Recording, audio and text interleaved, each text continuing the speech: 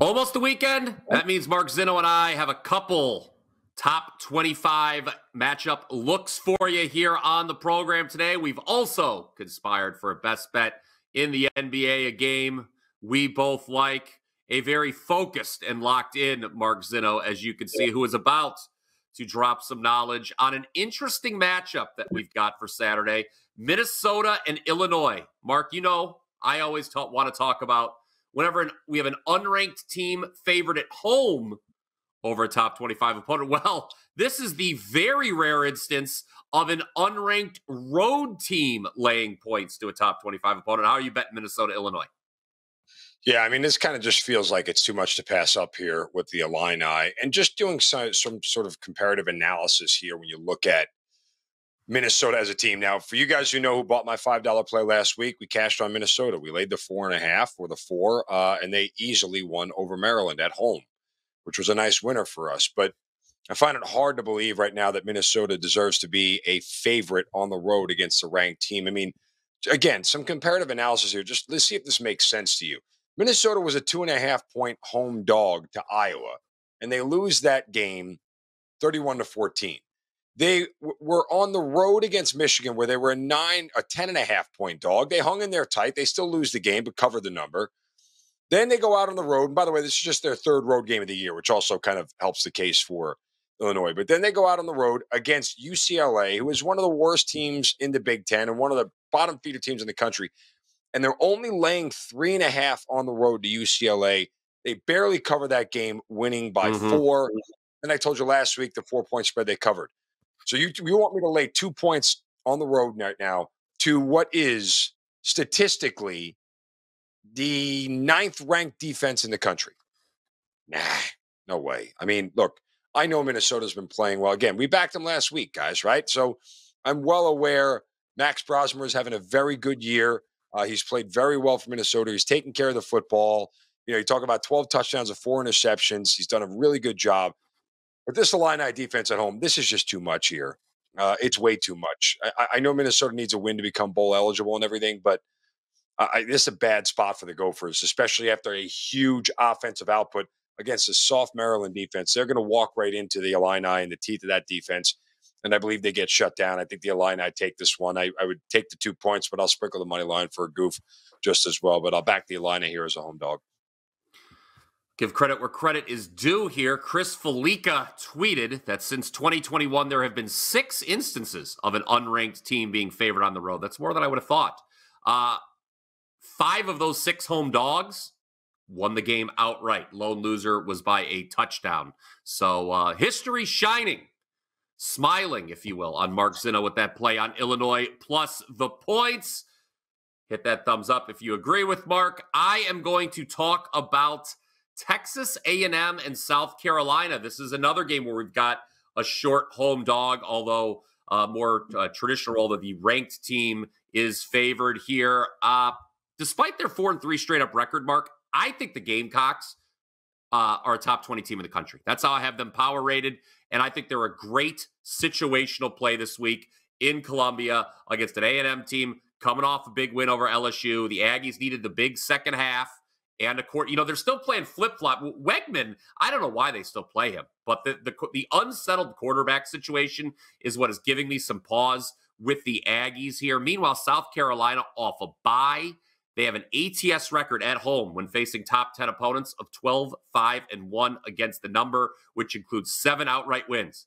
Two of South Carolina's three losses this year, Mark, were to Alabama and LSU by a total of five points. I know I said at the start of the year A&M to make the college football playoff was a great bet, but this, they've hardly been dominant.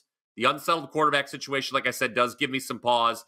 And I think this is their toughest matchup since the season opening loss to Notre Dame. So give me the points with South Kakalaki in that one. Any did thoughts there? South you... Kakalaki? I did. Um, I, I, you know, it was. I, I it was just trying I'd it. Like, I'd like, I'd like to rewind ten seconds ago, and never have you say that phrase again. Okay, I just you know, someone was trying out. I knew, I, I knew. Worst case scenario would upset you a lot. I mean, uh, that landed like a fart in church. Like, don't don't do that. Just just say the Gamecocks, right? Like, go just say South Carolina. You know, Go there was so much. How about that? There you go. There was so much more material for you to work with there than South Kakalaki. First of all, it's Kakalaka, not oh. Kakalaki. You lackey. Okay. I'm not from the South. I don't know that. I- well, I clearly you're also not from the hood, bro. Okay. So just know your limitations here and stay within those. You see that little box? See that little box that you're in right there? Just stay right in there. Just don't, just don't go okay. outside of that. Okay. That's your home. That's where you live, right there. Go to your home. Uh, all right, let's try that again. Dancing, your lord. Okay, yeah, try it South again for the audience. South Carolina plus three versus Texas A&M. That is Very my half good. of the double play. Smash that like button if you agree. Comment down below with what you're betting on Saturday. We would like to uh, see that. We always enjoy that. Uh, you Comment know, down below if you think Bryan Power should never say the word South Kakalaki again. Comment down below if you think dropping the ball before you cross the goal line for a touchdown is stupid. And I think everyone should comment that. I don't care that I won that bet last night. You, you, look, in these trying times of 2024, okay, I, there's a lot of people do things, they say things I disagree with. Okay, that's just a fact of life. But I try in my heart and soul often, Mark Zinno, to say, you know what? I don't agree with what this person's saying or doing, but I can see why they might say or do that. I am bringing this up, okay, not Yeah. to deliver some great speech of unity, but to say, I don't think there's anything more indefensible in Western society than dropping the football before you cross the end zone for a touchdown. There's no purpose to it. Do you think you're cool? No, like Because you're not you know cool. what it is? No, you're definitely No. not cool. Not cool. Not cool at all. Um, you know what the other part of it is too is that uh it's a whole lot of uh like uh just there's no reason like just eh, No, like there's hand the ball you, to the official. Hand you the can't even make a reason to do it. No, Like, it's just- indefensible. I mean, uh, one of my favorite all-time players in the NFL was always Barry Sanders, and for my money, the greatest running back that ever lived. And I just always loved the fact. And who who doesn't love a good spike, right? Who doesn't love a good, love a good dance? I'm all I'm there for all of it. But I just always appreciated. He just walked to the official, handed him the ball because you want to know why? It's that old adage: act like you've been there before. And Barry Sanders was there before a lot. And he said, "Here you go, Mr. Official. I'm going to do this again in about 20 minutes. Here, you take this one. I'll have another one for you in about 20 minutes. So you take the ball." And that was the end of it. I guess in the Jets' defense, it's not often that they get to the end zone, so maybe that's why we saw there that. was- was that. thankfully, thankfully, if, you, if you're wondering what the hell we're talking about, by the way, I'm you'll see the highlight within, I'm sure, the next couple hours. Everybody of the Jets Texans game last night, or should I say, the low light? Uh, at least, luckily for me, the Jets did wind up winning that game. Uh, we talked about that. Davante Adams, anytime touchdown, was a winner yesterday on the show. Uh, C.J. Stroud finished uh, half of reception under his I total, mean- which was brutal. half of an attempt. You mean? I mean, that was yeah, half that was an uh, that was uh, uh, we got kicked in the nuts last night. I mean, that's we we got the the essential. That's why sports betting is so infuriating. Um, and the problem is, is that C.J. Stroud like took off and ran like four or five times. Like I just Mhm. needed him to throw one of those away instead of running, and uh, and we go over that number, and, and it and it didn't happen. However, I will say this much: he ended up on thirty one. You know, uh, interestingly enough, there were alternate numbers out there. And because it's funny, when I looked DraftKings yesterday and when I put out the free play officially, I know sometimes we do the show and I don't get around to putting out the actual free play. The free play I gave out last night was 30 and a half, so it went over. So maybe some of you got lucky and got a better number at 30 and a half than 31 and a half, and, and you ended up cashing a ticket. I hope that's the case. And then, speaking of kicking the teeth, Mark, Tulane ending on 34. we move on. Let's move on to Friday. That was yesterday. Let's move on to today. Uh, you and I, our best bet segment. Or would you like to talk about your weekend before we do the best bet first? Or would you like to do the best bet? Your choice. I mean, I I will I, I make mine short and easy. Uh, look, I'll have a play in college tonight. Um, so uh, go get it at wt.buzz slash mz. Uh, if you bought my two dollar, uh, my five dollar Tuesday play, that's a college play, and then I'm probably going to add two to three more for the weekend. Uh, I'm just waiting for some more numbers to settle as we get. uh, BP and I have found out as we've gotten deeper into the college football season, some of the number volatility comes in later in the week, and I just kind of want to make sure what I'm seeing is what I'm seeing, and and uh, that nothing comes out of the blue here. So uh, we'll, we'll, get to a decent sized college card. Still an 11 4 college run for me. That's all I'm going to talk about my record, wt.buzz slash MZ. Within the next still 12 hours, my complete NFL and college card will be available right there, wt.buzz slash BP. I'm going to have four college football plays for Saturday, four NFL plays for Sunday. Uh, the Jets was a nice start to the weekend. Hopefully, we can keep it going and have a big bounce back after last weekend's uh, disappointment. So uh, head on over, wt.buzz slash BP. It'll only be $29 for the complete college card, $29 for the complete NFL card.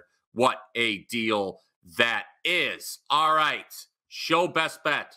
Uh, what a deal it would be if you've bet against the Atlanta Hawks and taken the over in all of their games this year. Yeah. If you would have done those two things on all five of their games, you would be 10 and 0 with your wagers. Uh, pretty good. But we, we always afraid to uh, walk against traffic, I suppose, Mark. We're betting the Atlanta Hawks tonight, the 0 5 ATS Atlanta Hawks, uh, as they host Sacramento, you and I were just flabbergasted by this line. We were looking up if you know it, had Trae Young been kidnapped. Uh, six and a half is six and a half is too much for Atlanta to be getting it home against Sacramento, and that's our best bet. Talk to us. Yeah, I mean that's it's kind of really what it boils down to. I mean, also like, is Sacramento markedly better than Atlanta? They're better, but I don't know if they're markedly better enough where the Hawks should be getting six points at home um, against a team that, you know, frankly isn't as high scoring as they used to be. Look, now I know the Hawks defense is really bad, but the Hawks are also coming off a sweep of a home and home uh, at the hands of the Washington Wizards, who are, you know, again, going to be one of the Not worst good. teams in the NBA. Now, look, and look, I mean, if Sacramento's laying six and a half against the Hornets, the Spurs, the Wizards, or the Pistons, I'd be like, okay, that I understand. The Hawks aren't great, but still, they're they're a decent home team. Um, and and the, the, high scoring nature of this brings in a little volatility to lace that that kind of number.